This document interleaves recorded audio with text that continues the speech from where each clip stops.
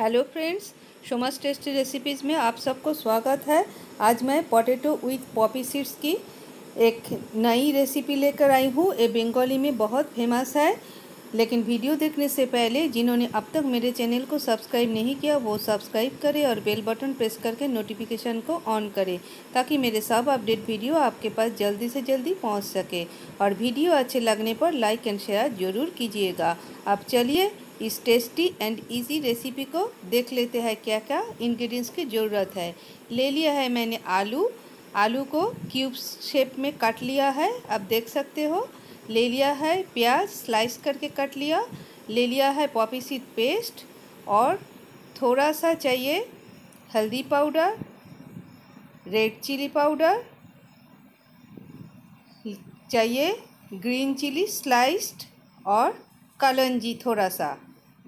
और पूरा recipe mustard oil में बनाऊँगी। मस्टर्ड ऑयल में ज़्यादा टेस्टी होते हैं।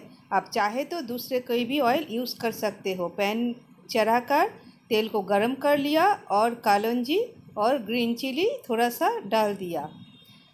दो तीन मिनट तक भून लिया। उसके बाद आलू को डाल दिया और आलू हम हल्का सा फ्राई कर लेंगे। एक दो मिनट तक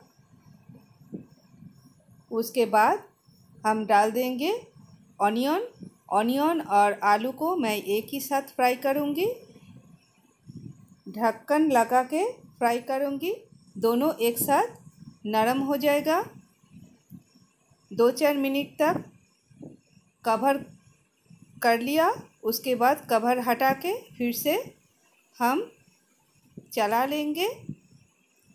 हल्का सा गोल्डन ब्राउन होने तक हमें फ्राई करनी होगी और फिर से एक बार कवर कर दिया।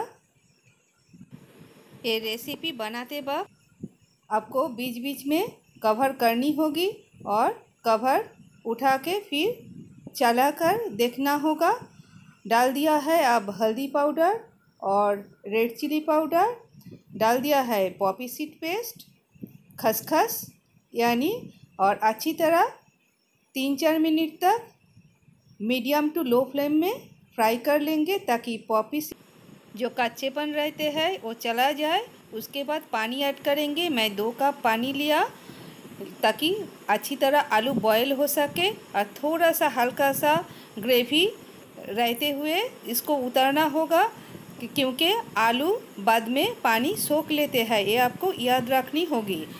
नमक को ऐड कर दिया और अच्छी तरह मिला लिया। कवर लगा दिया और बॉयल होने तक पाँच मिनट वेट करेंगे। देखिए, लगभग बॉयल हो चुके हैं, आलू नरम हो चुके हैं। आप देख सकते हो, अब मैंने चीनी ऐड करेंगे और ग्रीन चिली ऐड करेंगे।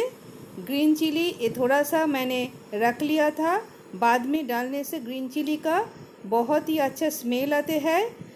इसीलिए बाद में डाला, चीनी ऐड कर लिया। आप कोई भी चीनी वाइट या ब्राउन शुगर यूज़ कर सकते हो। और चीनी अगर पसंद ना आए तो स्कीप भी कर सकते हो। अच्छी तरह मिला लिया। आप गैस ओवन को ऑफ़ करके, मैंने कवर करके पाँच मिनट तक वेट किया, ताकि अच्छी तरह स्मेल उसमें आ जाए और अच्छी तरह पक जाए। आप देख सकते हो कितना अच्छे टेक्सचर और कलर आए हैं। बहुत ही अच्छे टेस्टी रेसिपी है। अब मैंने सर्व कर दूँगी एक सर्विंग बोल में। आप ये रेसिपी ज़रूर ट्राई कीजिए और अपना अनुभव मेरे साथ मेरे कमेंट बॉक्स में शेयर कीजिए। आप राइस के साथ ये रेसिपी बहुत ही अच्छा लगता है, लेकिन रोटी के साथ भी आप खा सकते हो। बच्चे बड़े सबके पसंद आएगा और भेज के आइटम में आप ज़रूर ट्राई कर सकते हो। लौट आएँगे जल्दी से एक नई रेसिपी लेकर। तब तक के लिए बाय बाय और कभी नए रेसिपी के ख्वाहिश हो तो कमेंट बॉक्स में लिखना मत भूलिएगा।